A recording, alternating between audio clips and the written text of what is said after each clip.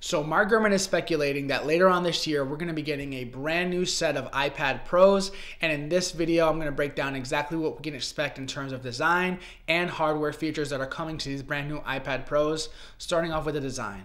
Back in 2018, Apple updated the iPad Pros with a brand new squared off aluminum enclosure thin, same size bezels all the way around, and they added the M1 chip to these devices. Now, this year, we expect Apple to keep around that same thin aluminum squared off design language like they've brought to the iMac, the iPhone, and even the MacBook Pro in a way. But this year, we expect to see MagSafe coming to the iPad Pros. And this goes in line with what Apple has been doing throughout the years, right? They remove ports, they remove features. They want to make their devices more simple and more streamlined. So MagSafe may be coming to these new iPad Pros. Now, in terms of the biggest update in terms of internals, we expect these new iPads to ship with the M2 chip. And the M2 chip is going to be very similar to Apple's M1 chip that they have in the iPad Air, iPad Pro, MacBook Pro, MacBook Air. Basically, they use this chip everywhere. And they're also going to be shipping these brand new iPad Pros with this M2 silicon. Now the M2 chip has the same 8-core CPU as the M1, but it is going to have a 4 nanometer process, which is going to increase the speed and increase the power efficiency.